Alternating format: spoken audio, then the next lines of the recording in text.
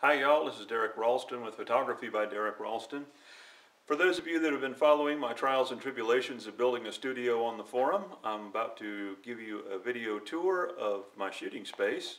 I'd love to give you a video tour of the lobby and the uh, projection room, but they're not quite done yet, even though we're open for business. We still have a little decorating to do, hanging some pictures, and uh, tidying up. But I'll give you a tour of the camera room. Just follow me.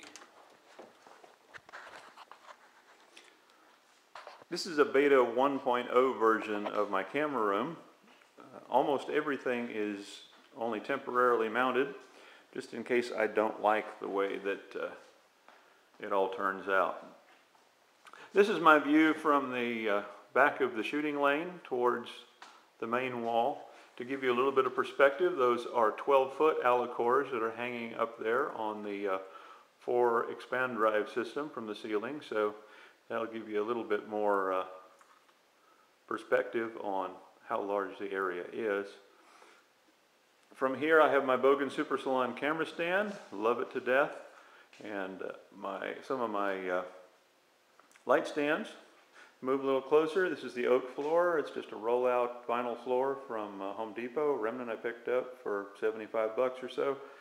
When I shoot dancers, I can pull this up. It's just taped down, roll out a black or a gray dance floor, and uh, go to town. Up in the ceiling there also are mounted two AlienBee 1600s uh, that work really well for high key.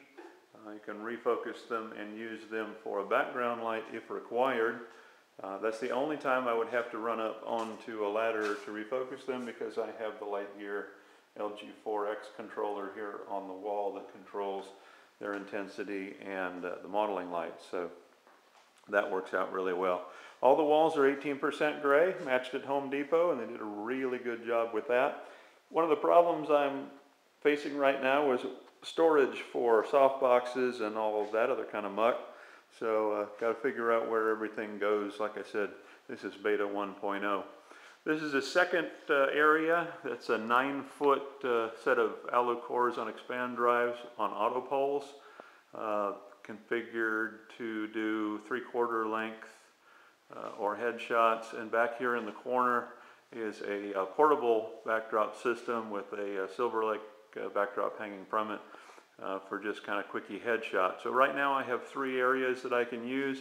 I don't think I'm going to keep this area back here like this. I'd like to put a set back here uh, so I can have basically a swing to shoot my main area, a three, qu three length area, and then a set area. So uh, it'll be pretty easy just to spin the lights around, spin the camera around, and, uh, and take those shots.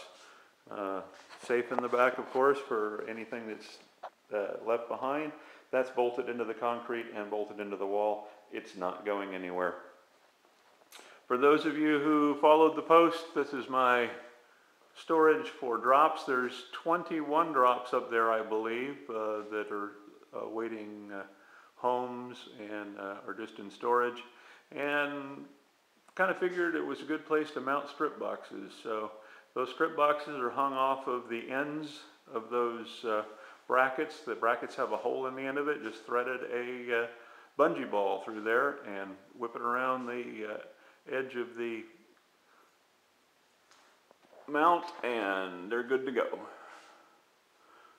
Once again, here uh, the uh, mount of the Expan Drives in the drop ceiling, three quarter inch plywood, quarter inch rods going up to the stringers, holding everything up.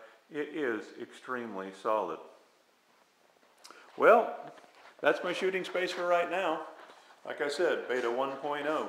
We'll see what it ends up morphing into, but for right now, it's a good space for me. It's exciting because I haven't had a space to call my own before. See you on the forums. Thanks for joining me.